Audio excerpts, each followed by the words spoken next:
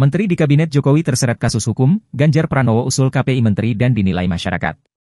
Bakal calon Presiden 2024 Ganjar Pranowo menilai, pemerintah Indonesia perlu memiliki semacam indikator kinerja utama atau Key Performance Indicator, KPI, untuk para menteri. Ganjar mengusulkan KPI langsung dikontrol oleh publik. Dikutip dari Kompas.com, Ganjar tak menjelaskan lebih detail terkait mekanisme dan pengaturan terhadap KPI menteri tersebut. Kita tawarkan kepada publik, sehingga kalau kita bicara KPI kabinet, maka kabinet yang akan duduk akan dinilai oleh masyarakat, kata Ganjar. Indikator kinerja itu, kata Ganjar, akan diukur dari kesuksesan seorang menteri memimpin kementeriannya. Pria berambut putih itu menilai KPI menjadi penting bagi sosok yang akan menjabat menteri di kemudian hari. Karena publik mengontrol, saya kira menjadi fair, imbuh Ganjar.